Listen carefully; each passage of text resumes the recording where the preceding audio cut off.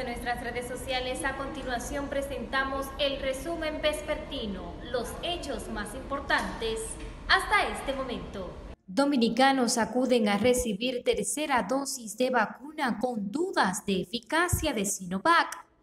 Los dominicanos comenzaron a acudir este jueves a los centros de vacunación contra el coronavirus a recibir la tercera dosis, algunos de ellos con dudas o recelos por la eficacia de la Sinovac, el suero más aplicado en el país.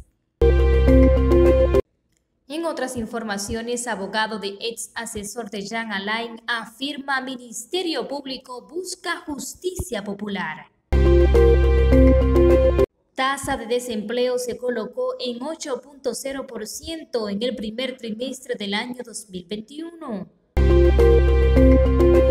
La tormenta Elsa se mueve rápidamente hacia el Caribe y puede fortalecerse. En las globales, Sociedad Interamericana de Prensa condena el asesinato de dos periodistas, uno en Haití y otro en México. En espectáculos, Britney Spears pierde la batalla contra su padre para controlar su fortuna. Amplíe estas y otras informaciones en nuestro portal eldia.com.do y síganos en nuestras redes sociales, en Twitter e Instagram como Robert Día-TO y en Facebook Periódico El Día.